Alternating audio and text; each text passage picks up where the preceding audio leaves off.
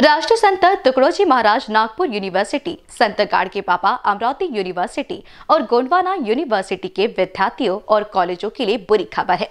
तीनों विश्वविद्यालय में होने वाली विविध प्रकार की एक्टिविटी के लिए पिछड़ा वर्ग विद्यार्थियों और कुछ हद तक कॉलेजों के अपनी जेब से रकम खर्च करनी होगी। अपने हालिया फैसले में राज्य सरकार ने उक्त विश्वविद्यालयों में लगने वाले 10 विविध प्रकार के शुल्क के बदले प्रतिपूर्ति देने से इनकार कर दिया है।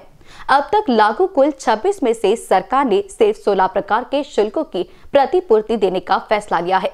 इस संबंध में जारी अध्यादेश के अनुसार सरकार अब परिपाल शुल्क, चिकित्सा अर्थ शुल्क, प्रोजेक्ट शुल्क, साइकिलिंग, पार्किंग, शारीरिक जाँच शुल्क और वार्षिक शुल्क के बदले कोई प्रतिपूर्ति नहीं देगी।